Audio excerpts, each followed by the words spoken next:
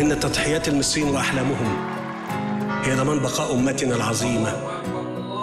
ومثلما عبرنا معا التحديات السابقة سنعبر ونجتاز أيضا التحديات الحالية.